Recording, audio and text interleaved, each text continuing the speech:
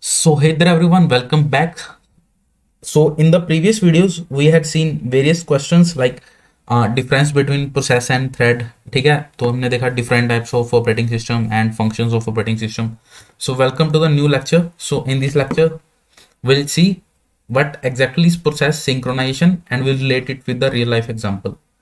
So let's start. What is process synchronization? So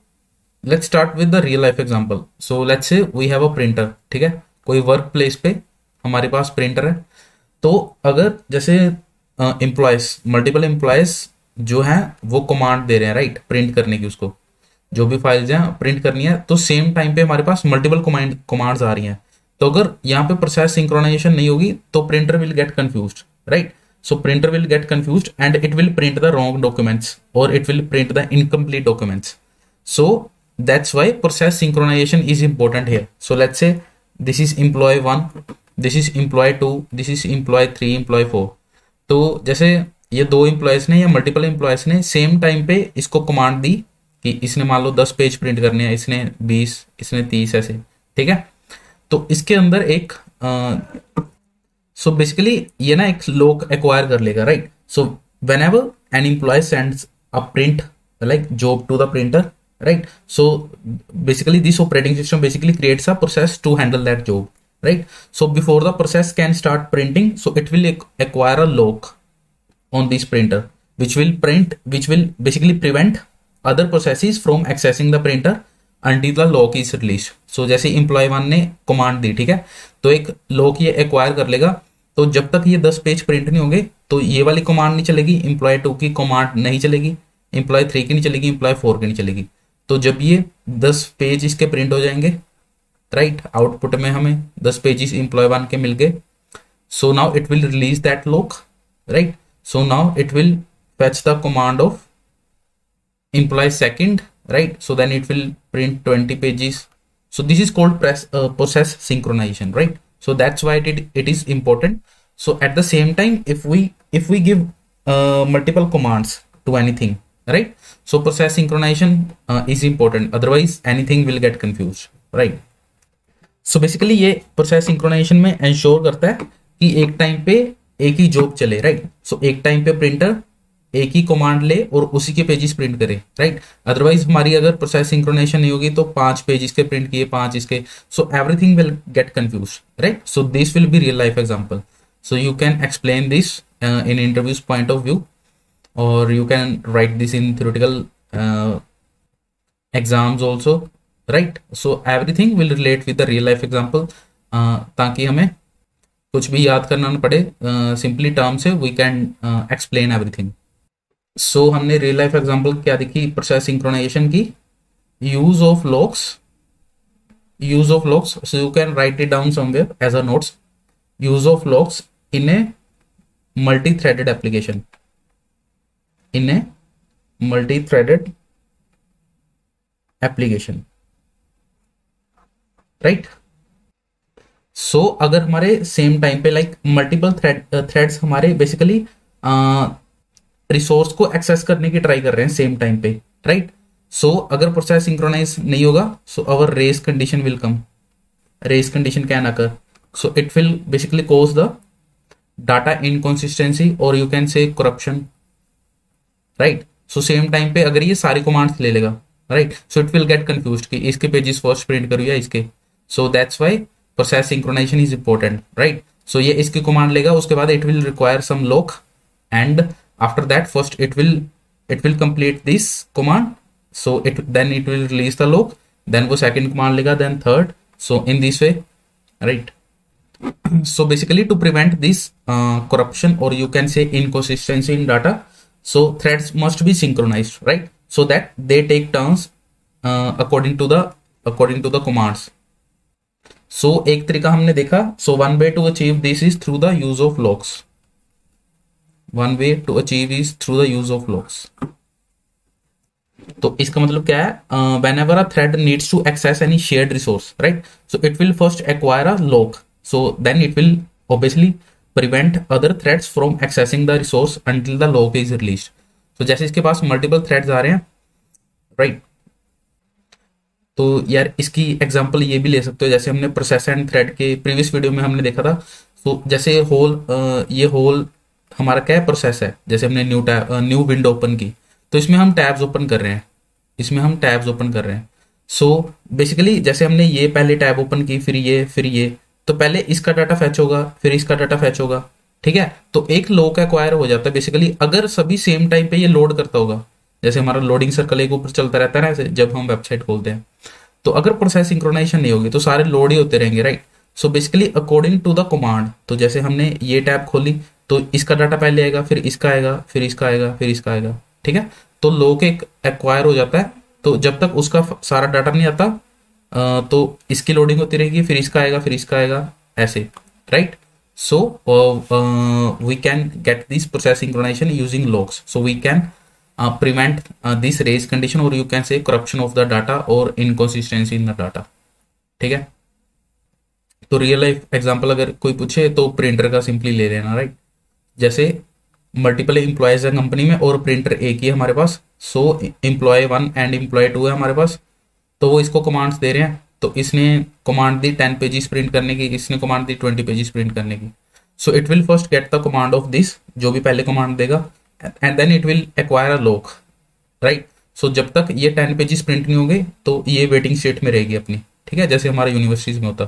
So this is called exactly the process synchronization right अभी तो कितना भी लिख सकते हो right in theoretical points of view and in interviews point of view this much will be enough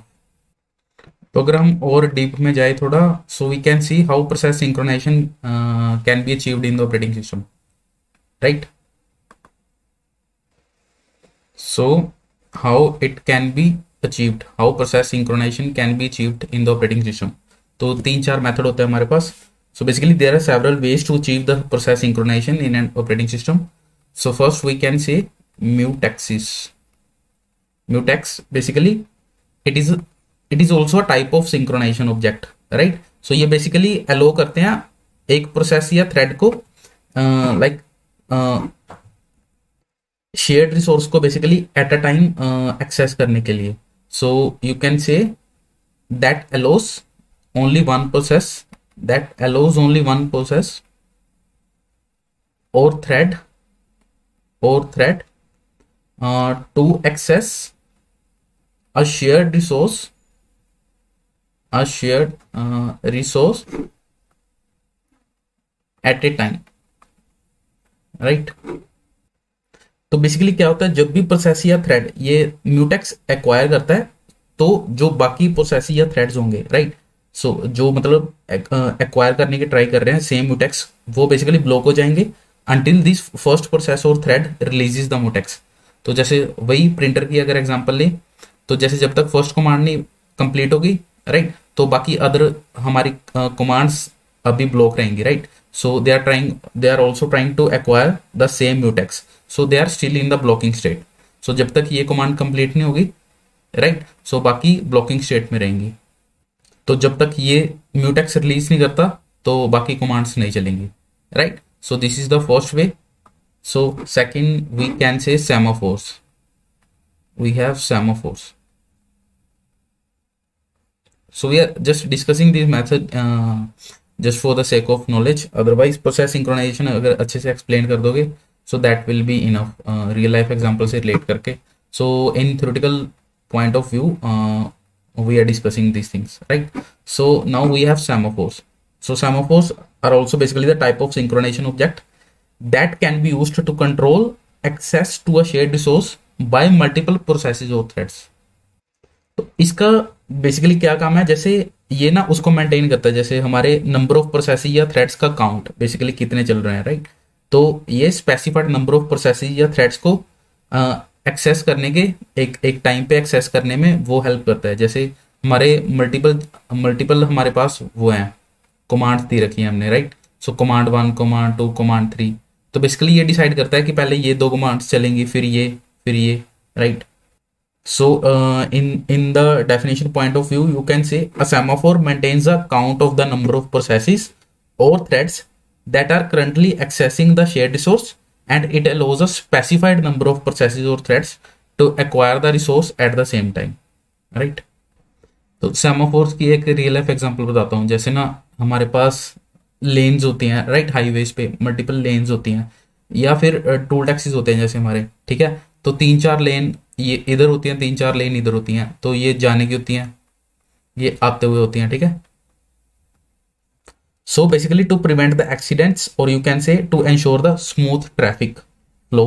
right और you can say traffic signals we have and signs so they are basically we are using to coordinate the movement of vehicles so similarly operating system में भी क्या होता है? We have semaphores that can be use to coordinate the access of multiple processes to share resources तो इसको further अगर explain करूँ जैसे हम एक सिचुएशन इमेजिन uh, करते हैं जैसे मल्टीपल प्रोसेसिस जो वो ट्राई कर रहे हैं to write a file simultaneously right so अगर हमारे पास सिंक्रोनाइजेशन नहीं होगी so without synchronization so that process will overwrite each other changes right so obviously it will lead to the data corruption और the loss so that's why to prevent this so basically operating system can use a semaphore to ensure that only one process write to the file at a time right so कोई data corruption हो या कोई data loss ना हो तो एक time पे हमारा एक ही रिसोर्स एक्सेस हो। So operating system can use a semaphore to ensure that only one process writes to the file at a time तो इसमें जैसे operating system zero one values use कर सकता है। सो so, जैसे whenever a process wants to write to the file so वो पहले check कर सकता है वैल्यू सेमाफोर की। सो लेट्स से सेमाफोर की वैल्यू ज़ीरो है। If the semaphore is set to zero then it means that another process is currently writing to, to that file and the process must wait until the semaphore is released so जब उसकी value one होगी so if the semaphore is set to one it means that the that the file is available for writing and the process can be processed तो जैसे हम coding में भी जैसे while true ये कंडीशन लिखते हैं ठीक है जब तक ट्रू है तो तब तक ये कंडीशन चलेगी तो ऐसे सेमाफोज है कि जैसे जब तक वैल्यू ज़ीरो है तो वो वाला हमारा प्रोसेस चलेगा। तो जब वो रिलीज़ कर देगा सेमाफोर की वैल्यू वन हो जाएगी। And the other other file other file is available for writing and the process can be processed right so this is basically semaphore so और हम ले सकते हैं, हमारे पास है जैसे, हम बात कर सकते हैं मैसेज पासिंग की। Message passing right so so basically in this system so processes can communicate by sending messages to each other right so in this way also